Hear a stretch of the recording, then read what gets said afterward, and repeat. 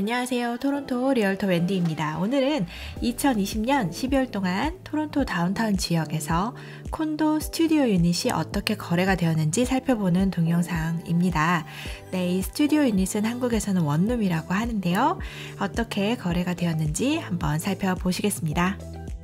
보시는 map은 토론토시 지역의 네, 각 행정구역을 나누고 있는 map인데요. 이렇게 파란색으로 표시한 지역이 바로 토론토 시리가 되겠고요. 이 주변으로 GTA 지역이 되겠습니다.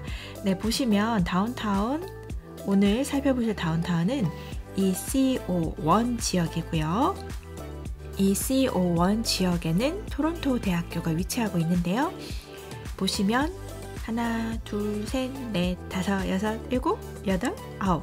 아홉 개의 커뮤니티가 네, 나누어져 있습니다.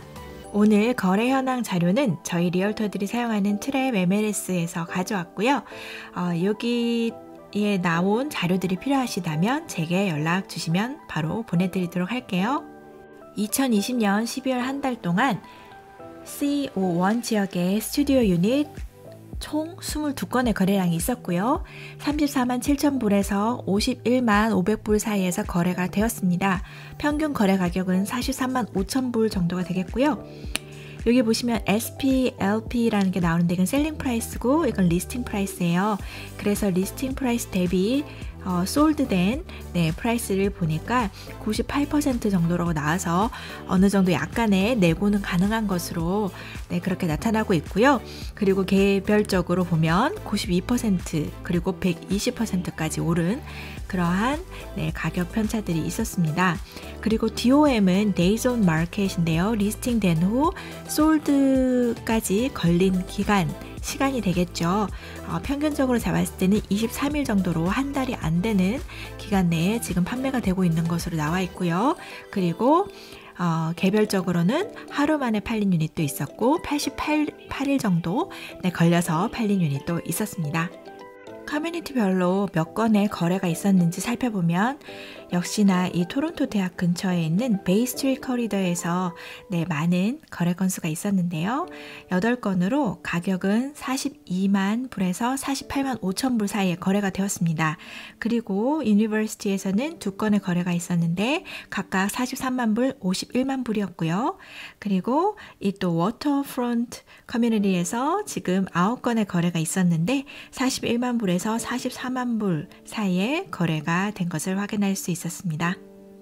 토론토 다운타운의 스튜디오 unit은 어떤 모습인지 궁금하실 분들을 위해서 준비했습니다.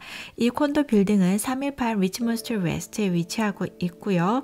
네, 보시면 이 건물 네, 스튜디오 unit은 발코니가 네, 따로 지금 어, 좀 구비가 되어 있고요. 그리고 이렇게 kitchen 그 앞쪽으로 해서 이렇게 뭐 네, washroom, 여기 closet 그리고 이렇게 bedroom 없는 네, living room과 dining이 어, combine된 그런 공간으로 구성이 되어 있습니다.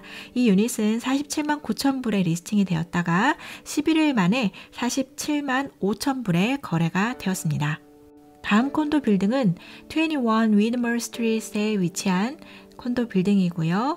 이 빌딩에서 스튜디오 유닛에 보시면 kitchen과 그리고 또 리빙과 다이닝룸이 컴바인된 이런 모습 확인하실 수 있습니다.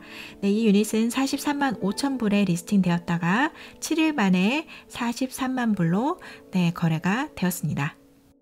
오늘 다룬 동영상이 지금 다운타운 지역에서 콘도 구입을 계획하고 계신 분들께 혹은 다운타운에서 콘도를 가지고 계신 분들께 도움이 되셨으면 하는 바람이고요. 구독과 좋아요도 많이 부탁드리겠습니다. 동영상에서 다룬 자료는 요청하시면 메일로 보내드리겠고요.